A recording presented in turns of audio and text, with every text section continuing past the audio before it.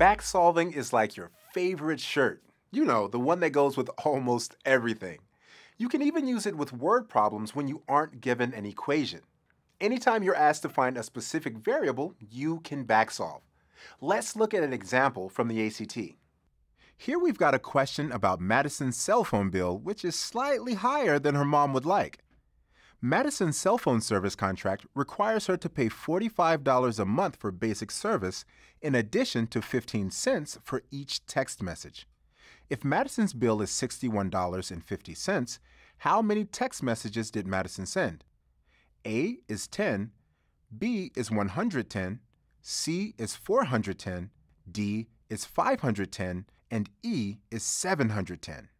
First, we'll underline the facts. Then we'll circle the keywords.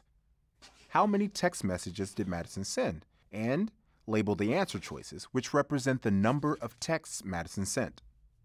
This question has verbally given us a few equations and then has asked us for the value of one of the variables in these equations. So we know we can back solve. Now let's identify the number we're trying to get. If we plug in the right answer choice, we should get that Madison's bill was $61.50.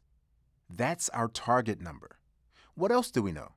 We're told that customers pay a base rate of $45 and an additional 15 cents per text. If the bill equals the flat rate plus the cost of text, we can plug in $45 plus 15 cents per text. We're ready to back solve. Remember, our next step is to start with the middle choice, answer C, and plug in the values we're given in the answer choices. C says that our customer sends 410 texts. If Madison paid 15 cents per text, we would say that she paid 410 times 15 cents, or $61.50 for the text messages. That sounds like it matches, right? Not so fast. Remember, she has to pay a flat rate of $45 per month as well. So, total, she actually pays $61.50 plus $45, or $106.50. That's way too big. So let's move on to answer choice B, which says that Madison sent 110 text messages. If she did, then she would pay 110 times 15 cents, or $16.50 for those texts.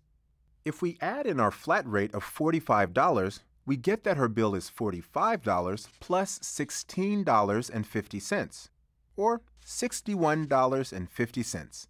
Since this matches our target bill of $61.50, we can circle answer choice B.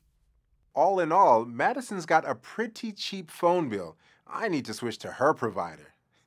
Anyway, now that you know how to back solve an algebraic word problem, you're on your way to acing the ACT.